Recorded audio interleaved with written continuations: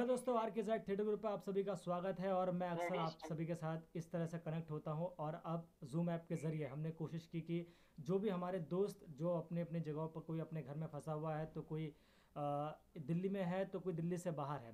तो मैंने सोचा क्यों ना आप सभी के साथ संपर्क करने के लिए हम जूम ऐप के ज़रिए अपने एक्सपीरियंस शेयर करें और साथ ही साथ आ, किस तरह से आप घर पर तैयारी कर सकते हैं एक्टिंग को लेकर या फिर किस तरह से स्ट्रगल का दौर होता है उसको किस तरह से हम सभी लोग जीते हैं। तो इस वक्त हमारे साथ जो जुड़े हुए हैं, एक तो गौतम है, हमारे आर के साथ थिएटर ग्रुप से, ये हमारे दोस्त हैं, हमारी टीम है, और हम, टीम ने सोचा क्यों ना एक एक करके हम सभी लोग आएँ और आपके साथ जुड़ जाएँ। तो हमारे साथ गौतम जुड़े हुए हैं आज, और स्वाति नियाल, जो अपने घर में है, लॉकडाउन की वजह से उत्तराखंड में है, वैसे दिल्ली में जो है, एक्टिंग करती हैं, अपना कोर्स भी कर रही हैं। तो सबसे पहले आ, मैं स्वाति से एक सवाल पूछना चाहूँगा। स्वाति सबसे पहले एक छोटा सा यही सवाल है कि अपना आप इंट्रो दीजिए कि आपका नाम आपकी एजुकेशन और क्या कर रही हैं आप फ़िलहाल में?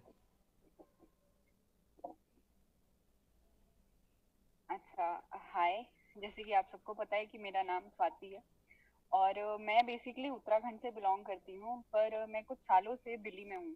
और दिल्ली से ही मेरी एजुकेशन पूरी हुई। मैंने हिंदी ऑनर्स किया डीयू से। फिर मैं एक साल जॉब करने के बाद मैं थिएटर में लग गई और उसके बाद अभी भी चल रहा है। अच्छा थिएटर का मतलब ये एकदम से इंटरेस्ट कैसे बना? जब कॉलेज में या किसी को देख के या किसी से इंस्पायर होके नहीं थिएटर का थिएटर के बारे में मुझे कॉलेज में आके पता चला पहले मुझे नहीं पता था पर एक्टिंग का जो था ना वो किया कह सकते कि एक्टिंग करनी है वो बचपन से था कि हाँ भाई मुझे अगर बनना है तो या तो मैं एक्टर बनूँगी या मैं डांसर बनूँगी। तो बचपन से देखे होते ना बच्चे टीवी देख के बड़े होते तो मेरा भी वही मैं भी उनमें से एक थी। और फिर जैसे जैसे मैं कॉलेज में आई तो मुझे पता चला कि एक ड्रामेटिक सोसाइटी होती है जहाँ पे थिएटर जैसी कोई चीज़ है नाटक किए जाते हैं। वैसे मैंने कॉलेज में इतना थिएटर किया नहीं कॉलेज से निकलने के बाद ही मुझे पता लगा कि अच्छा मंडी हाउस एक जगह है जहाँ पर नाटक किए जाते हैं थिएटर किया जाता है ये सब। मुझे फिर बाद में वो सारी नॉलेज आई उसके बाद मैंने ज्वाइन करा लोगों को लोगों से बातचीत करी। पहले से ही मैं बचपन से ही मुझे ना फेम का बहुत ज़्यादा वो कह सकते हैं कि मुझे दिखना होता था। एक तो ना आपको फेम बहुत अच्छा लगता है तो मुझे कुछ ना कुछ मैं करती रहती थी और स्कूल में भी किसी भी नाटक में, स्कूल में जैसे छोटे मोटे नाटक होते हैं, डांस होता है, मैं सब में, मुझे ज़्यादा कि लोग मुझे जाने। तो यही शौक शायद मुझे इस तरफ़ ले चला। अच्छा स्वाति, एक चीज़ मैं पूछना चाहूँगा कि अक्सर अक्सर क्या है कि हमारे ग्रुप पे आके लोग जो है, हमसे यही सवाल जवाब पूछते हैं कि, सर, हम किस तरह से घर बैठकर एक्टिंग कर सकते हैं? और इस वक्त जो है लॉकडाउन लगा हुआ है तो घर पे हर एक्टर कुछ ना कुछ कर रहा है। तो आप क्या कर रहे हैं इस दौरान कुछ? आप अपना एक्सपीरियंस शेयर करेंगे? हाँ मैं लॉकडाउन के दौरान मैं लिखती भी हूँ, मुझे लिखने का शौक है। और तो मैंने जो जो कविताएँ लॉकडाउन के दौरान लिखी थी या लॉकडाउन से पहले लिखी थी तो मैंने सोचा कि ये बहुत अच्छा टाइम है, इसको यूटिलाइज किया जाए। तो मैं उनको अब वीडियो के तौर पर ऑडियो वीडियो के साथ मैं अपनी कविताएँ रखती हूँ।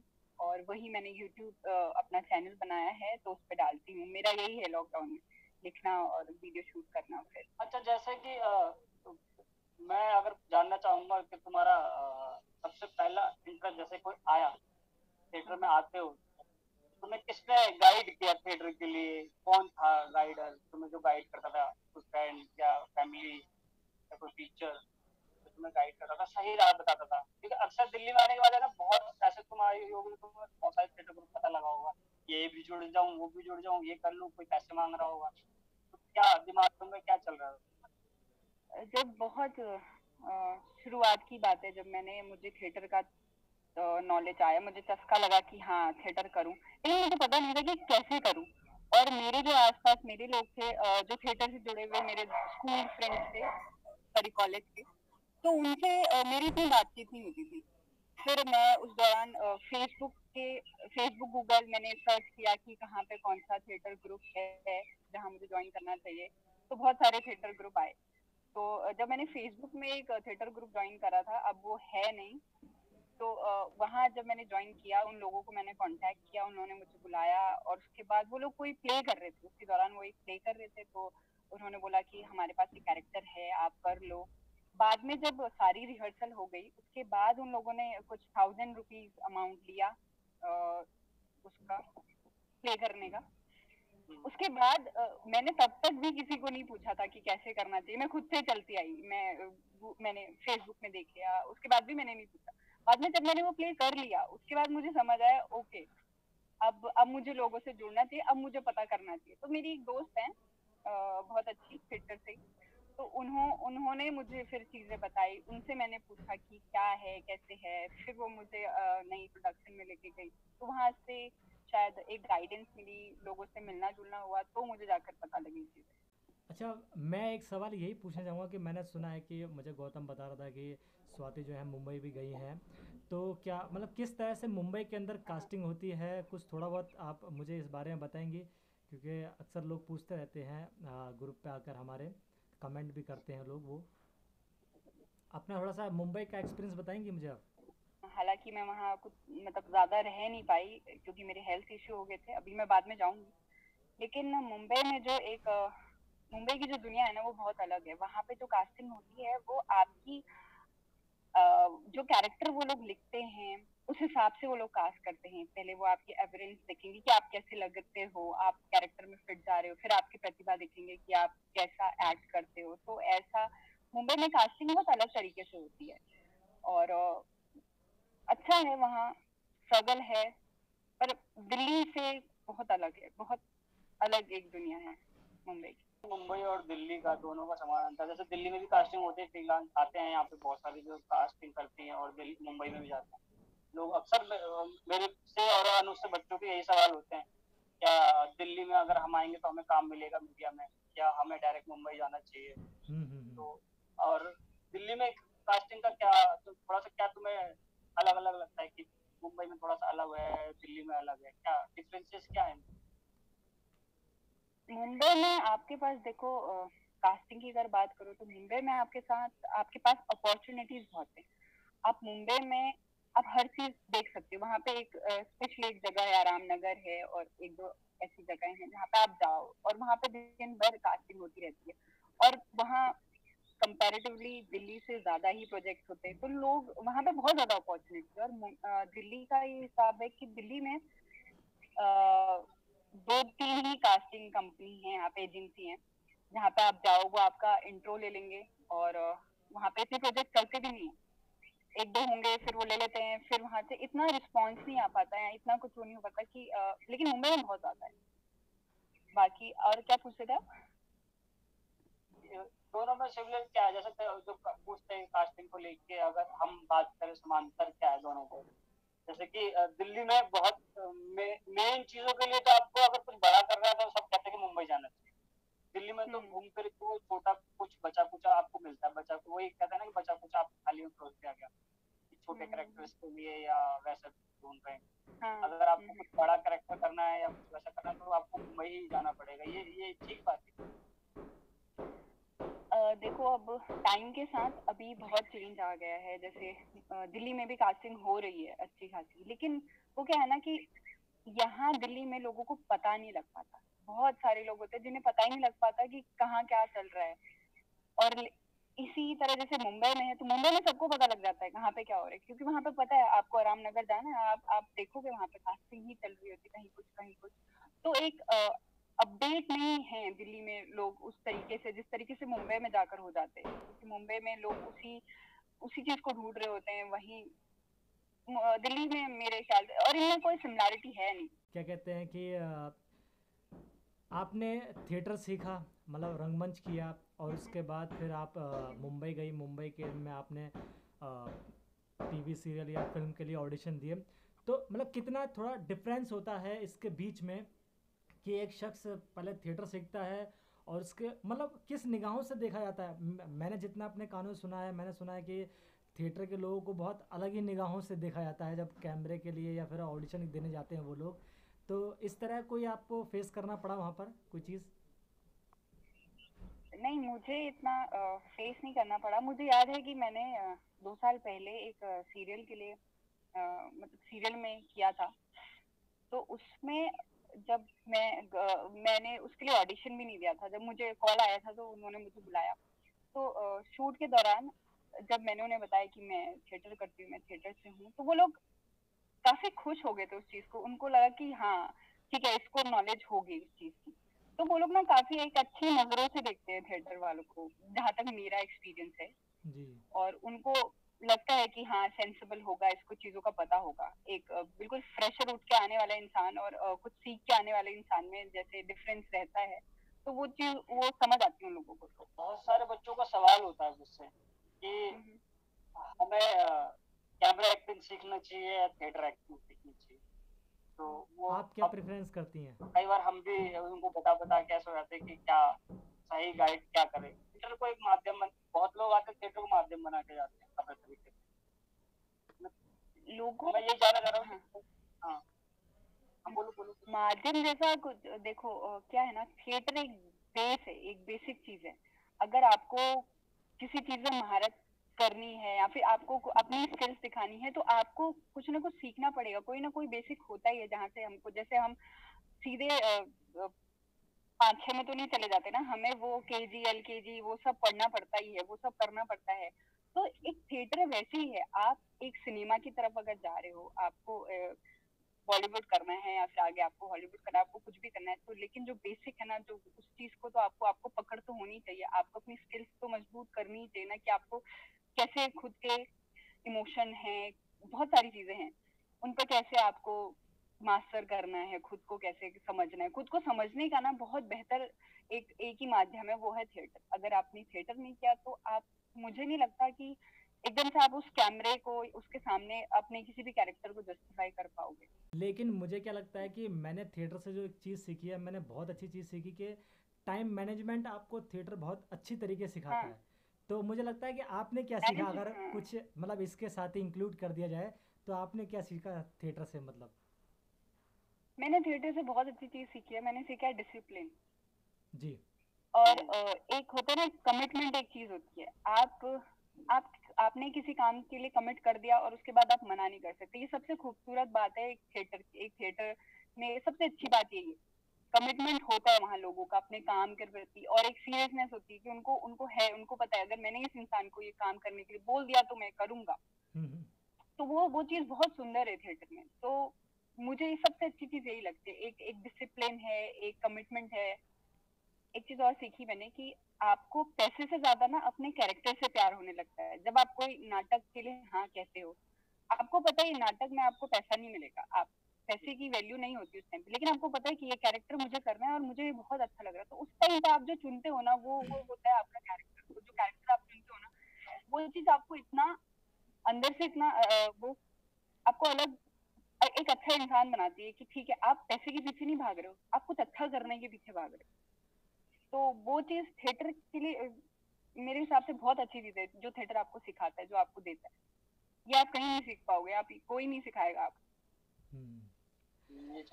तो और मैं ये चीज़ जानना चाह रहा था कि तुम जैसे जब तुम आए थिएटर के अंदर इन्वॉल्वमेंट हुआ कि तुम्हारा शुरू से क्लियर था कि मुझे थिएटर करते हुए मीडिया में जाना या हाँ, थिएटर करना मुझे जैसे मैंने आपको पहले बताया कि मुझे थिएटर के बारे में इतना कुछ नहीं पता था। मुझे एक रास्ता चाहिए था जहाँ से मैं खुद को, खुद की स्किल्स इंप्रूव कर सकूँ, खुद को पहचान सकूँ कि हाँ अगर अगर मैंने सोचा है, देखिए सब लोग सोचते हैं कि वो एक्टर बन जाएँगे या वो अच्छा अभिनय कर लेंगे, लेकिन ये जानना बहुत ज़रूरी है कि आप करते हो या आप हो या नहीं हो, ये खुद खुद को पता होना बहुत ज़रूरी होना चाहिए। तो थिएटर से मुझे, मैं जब जुड़ी थिएटर से तो मुझे पता लगा कि हाँ मेरे अंदर है वो प्रतिभा, मैं कर सकती हूँ। तो वो एक माध्यम, ज़रूर वो एक माध्यम बना कि मैं आगे कुछ और आगे, क्योंकि सबको कैमरा करना होता है, ये सच है। आप अगर उसको करियर ऑप्शन चुनते हो, एक एक्टिंग को अगर आप अपना करियर ऑप्शन चुनते हो तो आपको, ठीक है, आपको पैसा भी आगे कमाना होता है, आपको अपना पूरा घर उससे चलाना होता है तो आप आगे की तरफ़ बढ़ते जाओगे तो वो होता है नेक्स्ट स्टेप उसका कैमरा ही है। और बहुत सारे लोग होते हैं जो थिएटर में ही अपने अपना जीवन देख लेते हैं। उनको वो सेटिस्फाई रहते कि हाँ हमें यही करना पहली मोहब्बत बोलूँ मेरी तो मेरा थिएटर है पहली मोहब्बत और उसके अलावा तो मैं किसी को आजू बाजू कोई आता है इसके बाजू तो मेरा ऐसा हो जाता है मैं थोड़ा ऐसा होता है ना नेगेटिव पॉइंट मेरा कुछ ऐसा आया था हम्म, हाँ कि क्या है? सोचने में विचार दिमाग में लाने। मेरा कभी इंटरेस्ट नहीं था मीडिया की तरफ़। वो तो मेरा बाद में बना जब मुझे पता लगा थिएटर में पैसा नहीं। जब मुझे थोड़ा सा मेरे को लगा था कि फाइनेंशियली मुझे अगर कुछ करना है तो मुझे थिएटर की थोड़ा सा मीडिया भी मुझे देखना पड़ेगा साथ साथ और फिर मैं इसलिए थोड़ा थोड़ा करने लग गया बीच बीच में मौका मिलता है चांस मिलता है तो पक्का कर मैं भी मैं फॉलो करता ही हूँ। सीखता हूँ अपने जूनियर सिंगर से मीडिया कर रहे होते हैं और थिएटर कर रहे होते हैं दोनों। तो जैसे कि बहुत लोग आते हैं मेरे पास ना बिना पढ़ाई किए आते हैं लोग उनके लिए क्या तुम्हारे पास शब्द होंगे कि जो कहते हैं कि हमारी पढ़ाई, मैं आठवीं तक पढ़ा हुआ हूँ या दसवीं तक पढ़ा हुआ हूँ, या मैं आगे पढ़ना नहीं चाहता हूँ बट मैं मीडिया या थिएटर में काम करना चाहता हूँ। तो उनके लिए तुम्हारा क्या कहना है? देखिए, एक क्वालिफिकेशन जो होती है, ज़रूरी नहीं है कि आप ग्रेजुएट हो या फिर आपने मास्टर्स करा हो या फिर आप टेंथ ट्वेल्थ जो भी है। लेकिन एक, इस इंडस्ट्री के लिए जो बेसिक एक नॉलेज चाहिए, वो आपको होनी बहुत ज़रूरी, ठीक है? आपका पढ़ने में आप आप इच्छुक नहीं आपको आर्ट के बाद नौ नहीं पढ़ना है या फिर आगे नहीं पढ़ाई करनी कोई बात नहीं मत पढ़िए। लेकिन जो सिनेमा की पढ़ाई है जो नाटक हैं जो आगे जो लोग हैं उनको जानना बहुत ज़रूरी है। अगर आपको पता ही नहीं होगा आप आप किसी भी फ़ील्ड में जाओ आप कोई भी फ़ील्ड में जाओ तो उसका जो बेसिक नॉलेज है वो सबको आना ही चाहिए। वो चीज़ें बेसिक नॉलेज भी उसके इर्द गिर्द जो भी चीज़ें हैं वो सब पता होनी चाहिए। तो उस भी देखिए ना कि जैसे कि जब स्क्रिप्ट मिलती है तो आपको कई बार इंग्लिश में होती है। जैसे हम्म। अगर मैं मैंने अगर मान लो मैंने टेंथ या ट्वेल्थ कर रखी बहुत लोग अगर मैं गाँव से गाँव से किसी प्रांत से हूँ पता ही है कि बहुत जगह बहुत कम लोगों को इंग्लिश आती है या बहुत लोग अच्छा बोलते हैं।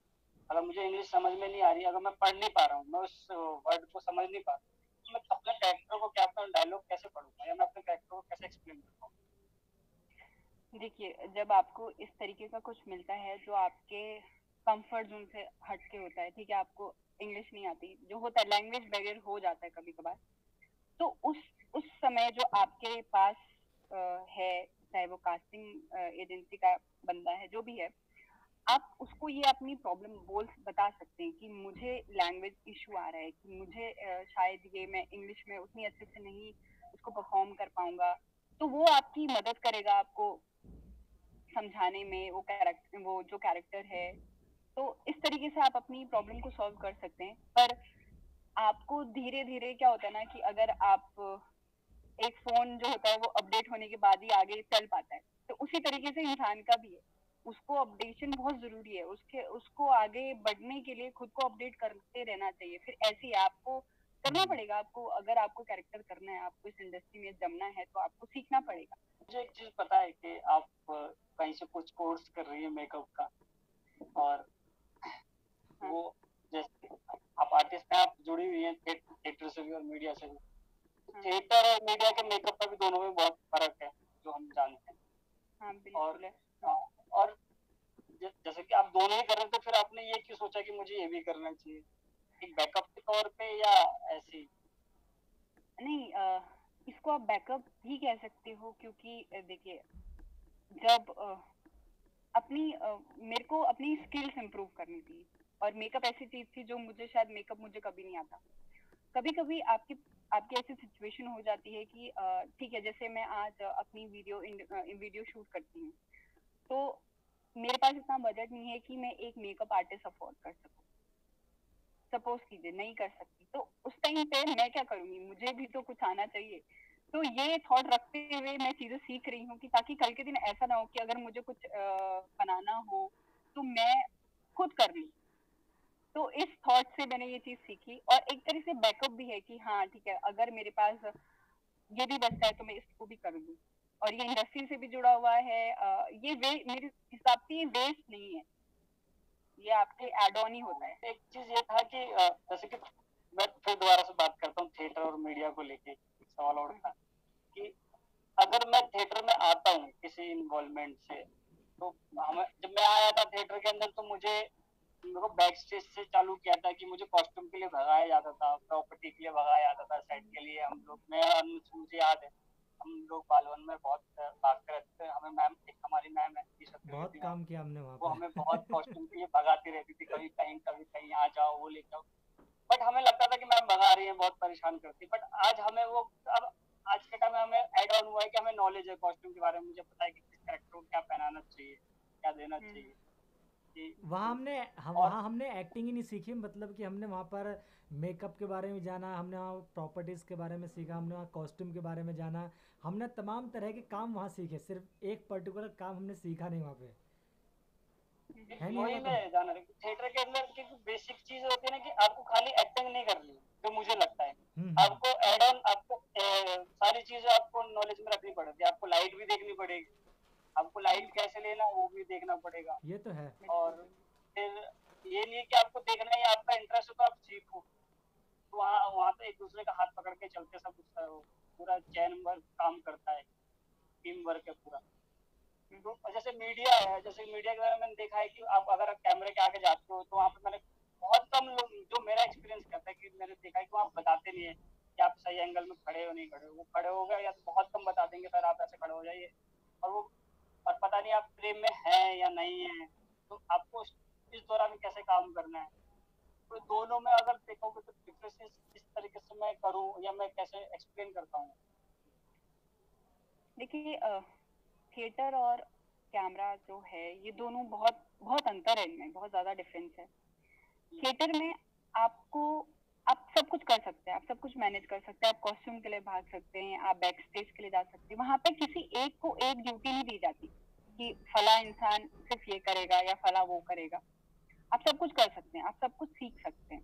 लेकिन जब अब बात आती है कैमरे की कैमरे में क्या होता है रिस्पॉन्सिबिलिटीज बहुत ज़्यादा होती है आपको सिर्फ़ अपने कैरेक्टर को लेकर आप सपोज़ करो आप कोई कैरेक्टर कर रहे हो और क्योंकि उनके पास टाइम लिमिट कम होती है उनका बहुत बड़ा क्रू होता है उनको सब कुछ उन, उनको उस तरीके से मैनेज करना पड़ता है कि आपको अगर एक दिन है इस शूट का या इस पर्टिकुलर सीन का तो उसमें इसलिए वो एक ड्यूटी दिए रहते हैं सबको कि ठीक है फला फला बंदा ये करेगा। और अगर आप एक्टर हैं तो सिर्फ़ आप एक्टर हैं।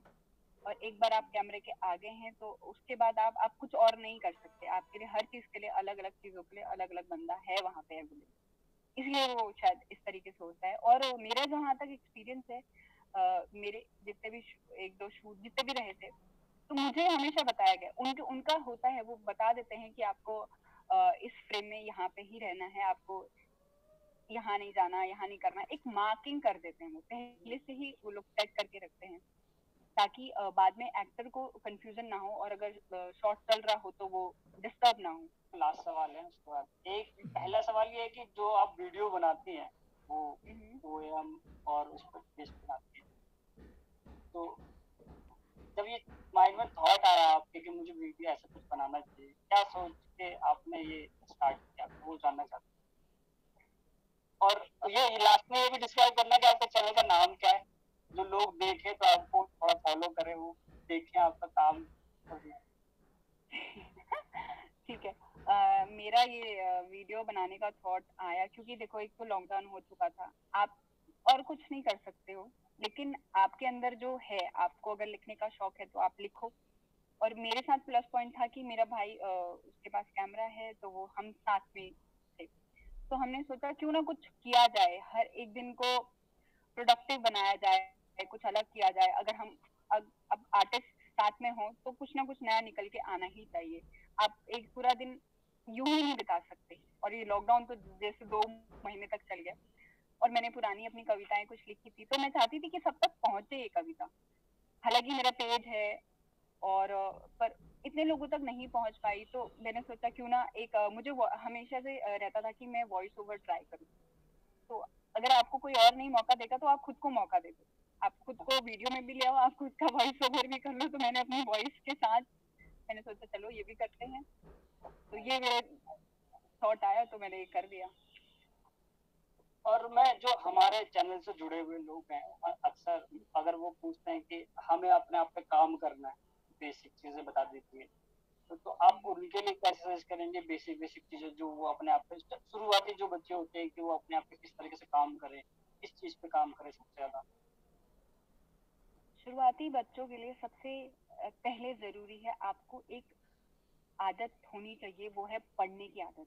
आप जितना कुछ पढ़ सकें, जितना कुछ ऑब्ज़र्व कर सकें। ऑब्जर्वेशन देखिए बहुत पावरफुल चीज़ है मेरे हिसाब से। और जो बिल्कुल बेसिक बच्चे होते हैं ना, उनको कहिए कि ऑब्ज़र्व करें।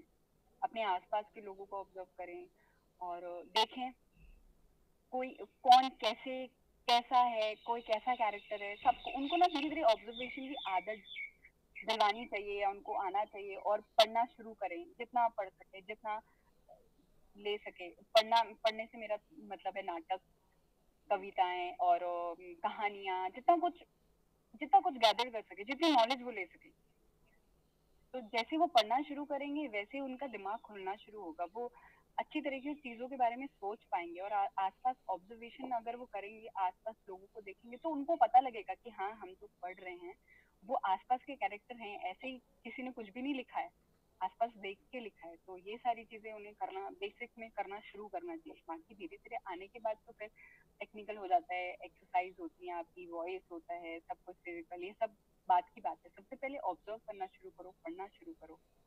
और इसके अलावा मैं चाहता हूँ कि अगर वो कुछ एक दो एक्सरसाइज या एक दो ऐसी कुछ चीज़ हो जो कि वो घर पे ही प्रैक्टिस कर लें।